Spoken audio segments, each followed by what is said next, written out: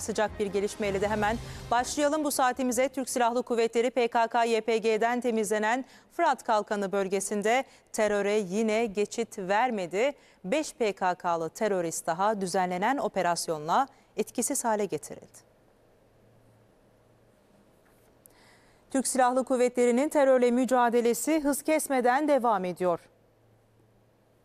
Milli Savunma Bakanlığı sınır ötesinde 5 PKK-YPG'li teröristin daha etkisiz hale getirildiğini duyurdu. Nokta operasyonun adresi bu kez Suriye'nin kuzeyinde terörden temizlenen Fırat Kalkanı Harekat Bölgesi oldu. Gelişme ilişkin Milli Savunma Bakanlığı'nın sosyal medya hesabından yapılan paylaşıma göre her nerede olursa olsun terör örgütleriyle mücadelemiz en son terörist etkisiz hale getirilinceye kadar devam edecek notuyla paylaşıldı.